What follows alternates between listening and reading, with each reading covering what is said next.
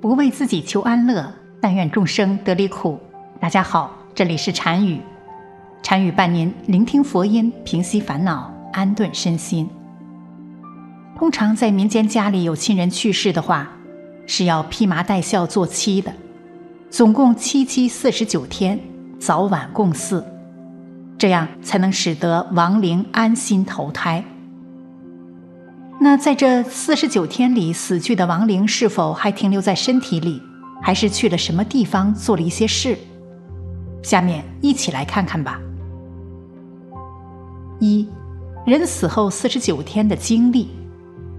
美国著名心理学家雷蒙德·穆迪博士在研究过一百五十个濒死体验者的案例后，试图为人们揭开死亡真相。从他的研究中得到结果。人死后大致会经历以下过程：一、亲耳听到医生或是在场的其他人明确宣告自己的死亡，此时整个人会感觉到生理的衰竭到达极限；二、这些侥幸脱离死亡的人初期有一种平和安详、令人愉悦的感受，在一闪而过的疼痛后。会发觉自己悬浮在一个黑暗的维度中，一种从未体验过的最舒服的感觉将人包围。三，之后会听到一些奇怪的声音，既像是一种不知名的曲调，又像是很多人在耳边窃窃私语。之后会被突然拉入一个没有空气的圆柱体空间，在感觉上像是一种过渡地带。一边是现世，一边是异域。此时灵魂已经和肉体分离，没有人能听到他们说话，时间的概念也消失了。有人回忆说，在那段时间里，他曾反复出入自己的肉体，并试着和他人说话，但是没有任何反应。四，感官在这种灵魂状态下会变得异常灵敏。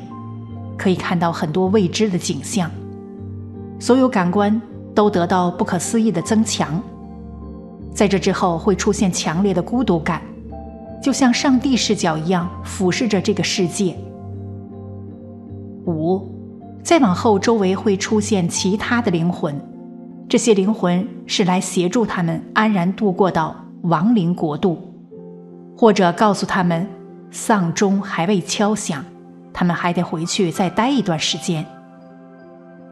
六，在死亡体验的最后时刻，他们都感受到了某种人性的亮光，非常明确的人性。所有参与研究的人都使用了这个单词。这个时候，灵魂状态会对一生做一次全景式的回顾，一幕接着一幕，按时间顺序移动，并且伴随着画面。当时的一些感觉和情感，都得以清晰的重新体验。七，最后灵魂会达到某种边界之类的东西，阻隔灵魂到达另一个地方。关于边界有很多种表达：一滩水，一团烟雾，一扇门，一道旷野中的篱笆，或者是一条线。如果无法通过这道边界，灵魂就必须回来。然而，这种回来的意识并不强烈，甚至十分排斥。加入遇上光的存在，这种情绪就更为强烈。随后，在某种特殊的状态下，灵魂就真的回来了。这个过程很难用言语来进行准确描述，但。所有参与研究的人都表示自己感受到了来自另外一个世界的召唤。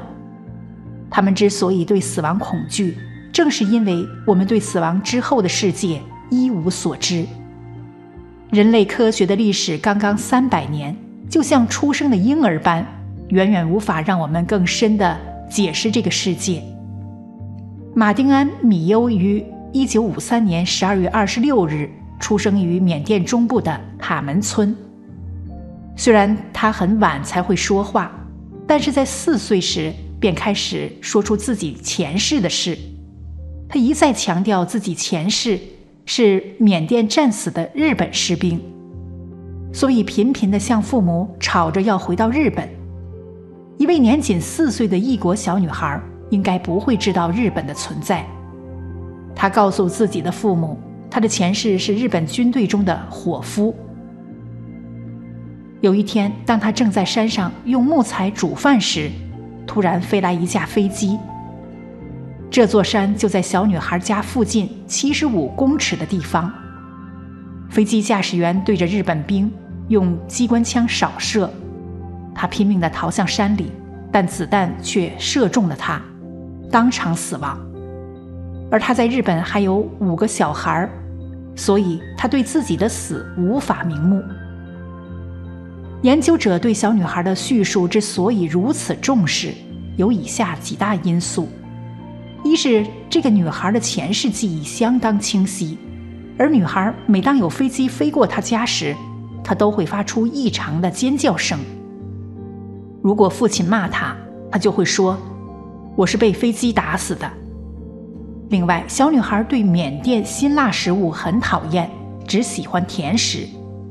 至于衣服方面，也不喜欢穿着小女孩的衣服，只愿穿男孩的衣服。并且缠着父亲为他买枪类的玩具，还常与其兄玩军队游戏。另一个可说是具有决定性的证据是，小女孩出生时，在前世受伤部位有一茶褐色如拇指般大小的伤口。当有人摸到此伤口时，她就会感到疼痛，而此伤口一直到两三岁时才好。据小女孩自己说，当她前世为日本兵时，就是被打中此部位而死。对于这个小女孩的研究，当时在科学界引起了极大反响，因为如果可以确定小女孩和死亡的日本兵的联系，就能证明人死后真的有灵魂存在。人死后并非像人们所说的“尘归尘，土归土”。而是去到了一个我们暂时无法理解的地方。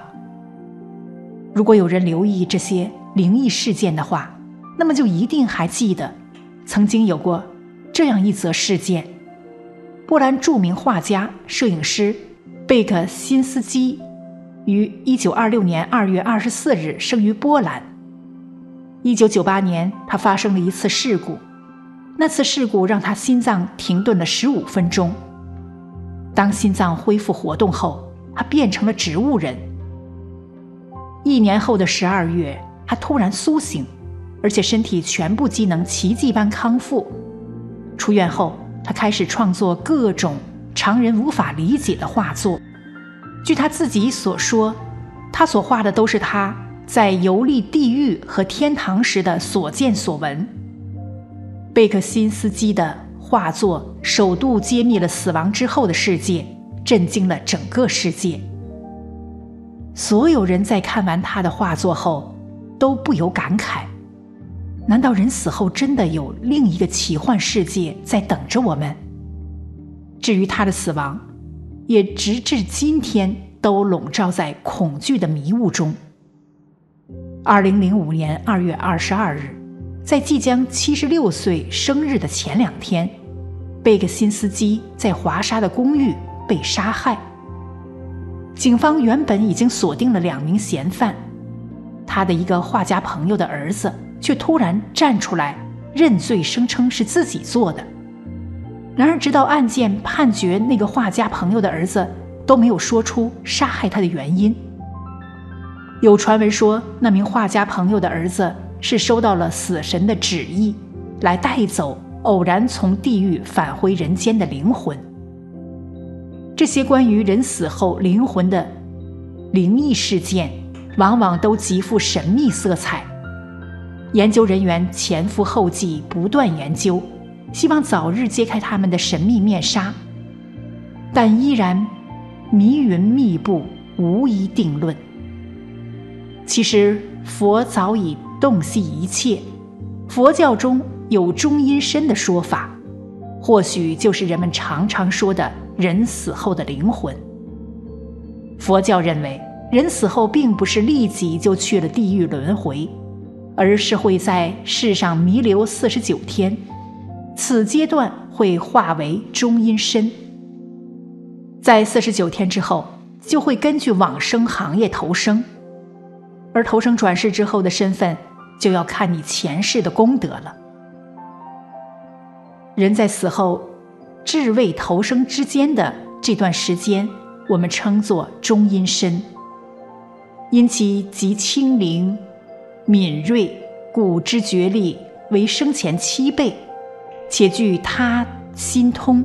可阅读他人之心识，此段时间长短不等，或七日、十四日，乃至四十九日。